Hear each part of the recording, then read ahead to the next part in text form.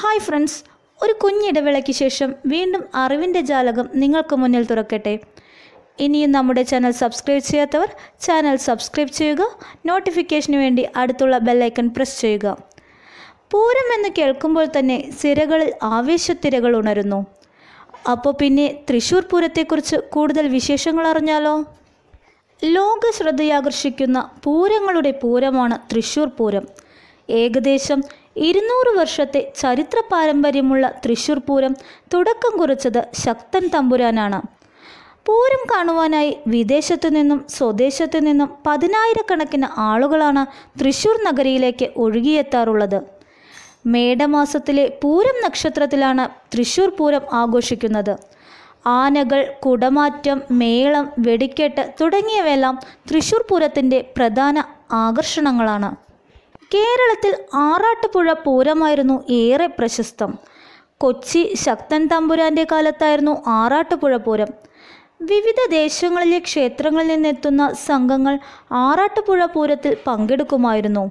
ലോകത്തെ എല്ലാ ദേവീദേവന്മാരും ആറാട്ടുപുഴ പൂരത്തിൽ പങ്കെടുക്കാൻ എത്തുമെന്നാണ് വിശ്വാസം.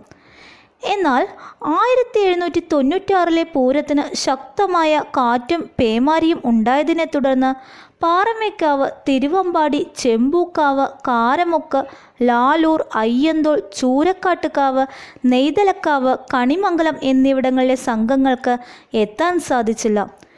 ഇതോടെ ഈ സംഘങ്ങൾക്ക് ഭ്രഷ്ട് കൽപ്പിച്ചെന്ന് പറയപ്പെടുന്നു. ഇതിൽ കോപിഷ്ഠനായ ശക്തൻ തമ്പുരാനാണ് വടക്കുംനാഥനെ ആസ്ഥാനമാക്കി അടുത്ത പൂരം നാളിൽ തൃശൂർ പൂരം ആരംഭിച്ചത്.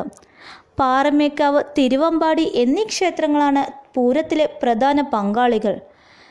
തൃശൂർ നഗരത്തിന്റെ ഹൃദയഭാഗത്ത് സ്ഥിതി ചെയ്യുന്ന വടക്കുംനാഥൻ ക്ഷേത്രത്തിലും ക്ഷേത്രത്തിനു ചുറ്റുമുള്ള അറുപത്തഞ്ച് ഏക്കറിൽ പരന്നു കിടക്കുന്ന തേക്കിൻകാട് മൈതാനത്തിലുമായാണ് പൂരത്തിന്റെ ചടങ്ങുകൾ നടക്കുന്നത്.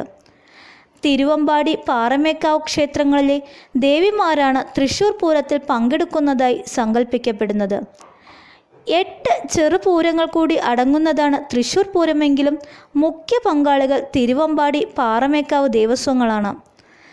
തൃശൂർ പൂരത്തിന്റെ പ്രധാന ചടങ്ങുകളായ ഇലഞ്ഞിത്തറമേളം തെക്കോട്ടിറക്കം കുടമാറ്റം തുടങ്ങിയവയെല്ലാം വടക്കുംനാഥന്റെ ക്ഷേത്ര പരിസരത്ത് തന്നെയാണ് നടക്കുന്നത്. വടക്കുംനാഥ എഴുന്നള്ളത്ത് കൂത്തമ്പലത്തിൽ അവസാനിച്ച ശേഷമാണ് ഇലഞ്ഞിത്തറമേളം ആരംഭിക്കുന്നത്. പാണ്ഡ്യമേളത്തിന്റെ കുലപതികൾ പങ്കെടുക്കുന്ന ഇലഞ്ഞിത്തറ മേളത്തിന് നാല് മണിക്കൂറാണ് ദൈർഘ്യം. മുൻനിരയിൽ ഉരുട്ട് ചെണ്ടക്കാർ പതിനഞ്ച് പേരാണ്. ഒറ്റത്താളം പിടിക്കാനായി തൊണ്ണൂറ് വലം തല ചെണ്ടകൾ ഇരുപത്തൊന്ന് വീതം കൊമ്പുകാരും കുഴലുകാരും. ഇലത്താളം എഴുപത്തിയഞ്ച് പേർ കൂടിയാണ്. പതികാലത്തിൽ തുടങ്ങുന്ന മേളം സാവധാനമാണ്.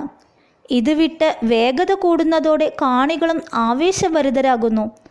ആദ്യം ഇടതു കലാശം അവസാനിച്ചതിനു ശേഷം അടിച്ചു കലാശം പിന്നെ തകൃത അതിനുശേഷം ത്രിപുട എന്നിങ്ങനെയാണ് മേളം.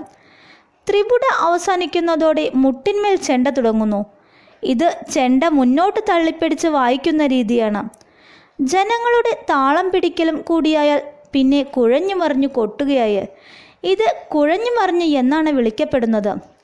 കാണികളെ വിസ്മയത്തുമ്പത്ത് പിടിച്ചിരുത്തി കൊടുങ്കാറ്റ് ശമിക്കുന്നത് പോലെ ഒരു നിമിഷാർദ്ധത്തിൽ എല്ലാം അവസാനിക്കുന്നു. വർഷത്തിൽ ഒരിക്കൽ മാത്രം തുറക്കുന്ന വടക്കുന്നാഥ ക്ഷേത്രത്തിലെ തെക്കേ ഗോപുരം പൂരം നടക്കുന്ന ദിവസം നെയ്തലക്കാവിലമ്മ വന്ന് തുറക്കുന്നു. പൂരം തുടങ്ങുന്നത് അവിടെ നിന്നാണ്. ഇലഞ്ഞിത്തറ മേളത്തിന് ശേഷമാണ് തെക്കോട്ടിറക്കം. പാറമേക്കാവ് തിരുവമ്പാടി ഭഗവതിമാർ വടക്കുംനാഥ ക്ഷേത്രത്തിന്റെ തെക്കേ ഗോപുരത്തിലൂടെ തേക്കിൻകാട് മൈതാനത്തേക്ക് പ്രവേശിക്കുന്ന ചടങ്ങാടിത്. പാറമേക്കാവിന്റെ പതിനഞ്ച് ആനകൾ തെക്കോട്ടിറങ്ങി കോർപ്പറേഷൻ ഓഫീസിന്റെ മുൻപിലുള്ള രാജാവിന്റെ പ്രതിമയെ ചുറ്റി നിരന്ന ശേഷം തിരുവമ്പാടി വിഭാഗം തെക്കേ ഗോപുരത്തിലൂടെ ഇറങ്ങി പാറമേക്കാവിന് മുഖാമുഖം നിൽക്കുന്നതോടെ കുടമാറ്റം തുടങ്ങുകയാണ്.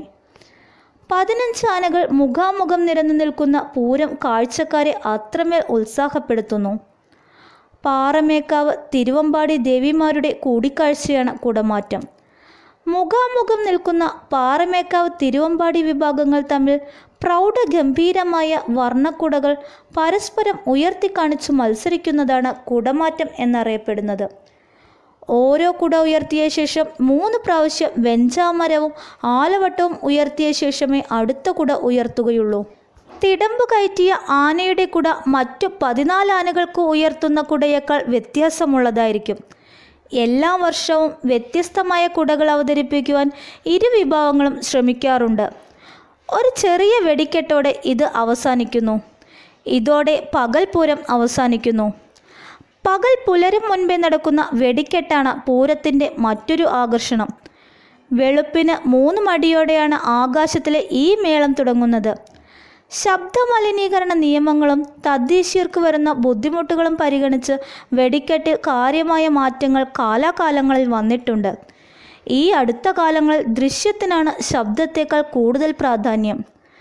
തൃശൂർ പൂരത്തിന്റെ പിറ്റേ ദിവസം രാവിലെ എഴുന്നള്ളത്തും പാണ്ടിമേളവും കുടമാറ്റവും ഉണ്ടാകും. തൃശ്ശൂർക്കാരുടെ പൂരം എന്നും ഇതിനെ പറയാറുണ്ട്. പാറമേക്കാവ് ഭഗവതി മണികണ്ഠനാലിൽ നിന്നും തിരുവമ്പാട്ടി ഭഗവതി നായ്ക്കനാലിൽ നിന്നും രാവിലെ എട്ട് മണിയോടെ എഴുന്നള്ളുന്നു. ഇരു വിഭാഗത്തിന്റെയും പാണ്ടിമേള പന്ത്രണ്ട് മണിയോടെ അവസാനിക്കുന്നു. മേളത്തിന് ശേഷം വെടിക്കെട്ട് നടക്കുന്നു.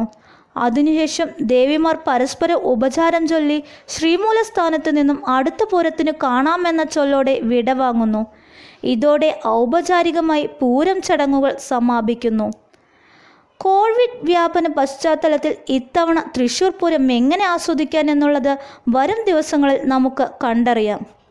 ഹലോ ഫ്രണ്ട്സ് നിങ്ങൾക്ക് ഈ വീഡിയോ ഇഷ്ടമായെങ്കിൽ ലൈക്ക് ചെയ്യുക ഷെയർ ചെയ്യുക കമൻസിലൂടെ നിങ്ങളുടെ അഭിപ്രായങ്ങൾ അറിയിക്കുക. Thank you thank you for watching